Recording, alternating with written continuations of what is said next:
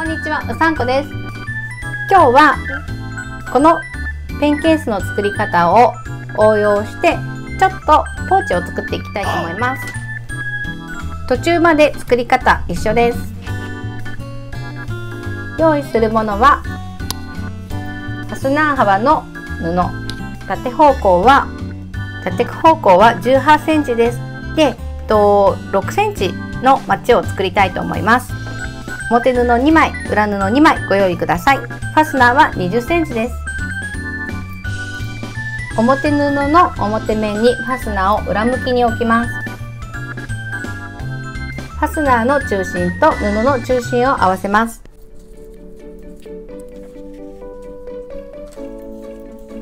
端から 5mm のところに中心と中心を合わせておきます。で、ファスナー端から 5mm のところをで縫い付けていきます。なので布端からは1センチのところ縫い代は1センチになります。ファスナーの端はこう三角に折って縫い付けると布はファスナー端が綺麗です。最初にファスナーに仮止めしといてもいいですし、このまま一気に縫っちゃってもいいです。縫えたら裏布を中表に重ねてで表布の縫い線から 2mm 下を縫っていきます。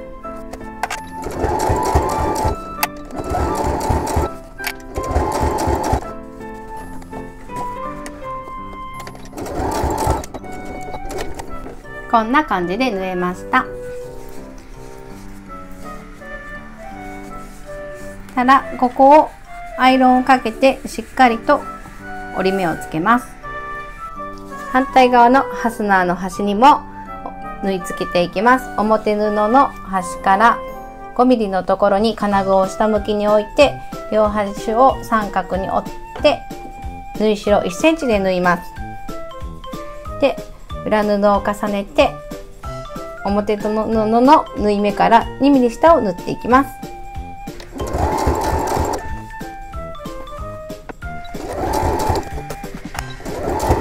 縫い付けられました。でタブをつけるならこのタイミングです。表布にのタブをつける位置。ここがあの際の縫い線になるのでこの辺に続けておきます。タブを仮縫いできたらファスナーの半分ちょっとファスナーを半分ちょっと開けておきます。で表布は表布裏布は裏布。とここを縫い合わせます。でこの際この部分はしっかりと合うようにしておいてください。で縫い代は裏布側に倒します。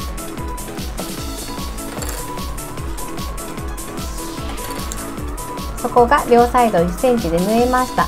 そしたらサイドを縫っていきますが裏のこの辺に返し口を取っておきます。で両サイドを縫う時にマチを作ります。と。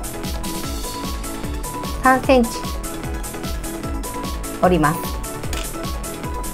でここをこんな風に仮縫いしてサイドを縫うとずれません。仮縫いしなくてもいいです。でファスナーの際を縫っていきます。ここに返し口を作ってください。こんな風に線を抜いておくと縫いやすいかもしれません。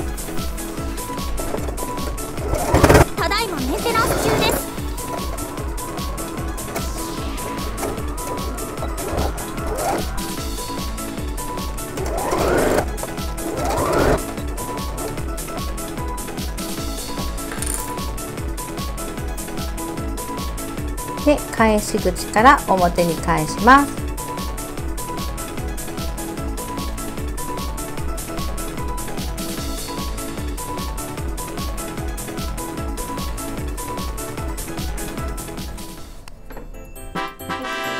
折り込み町のついたフラットポーチができました。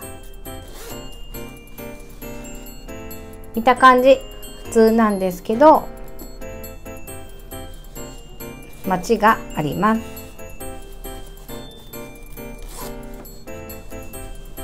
ちょっと中が街を広げないとダブつくかもしれないです。ダブつきます。落ち着きだとこうやって立つのがいいと思います。で閉じるとこの折り込み町だとフラットな感じになります。中に折り込んでるので下の部分はこうやってちょっと厚みが出ちゃいます。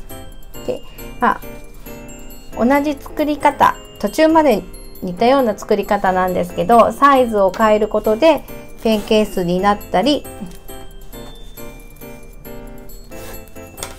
ポーチになったりします皆さんもポーチ作りを楽しんでみてください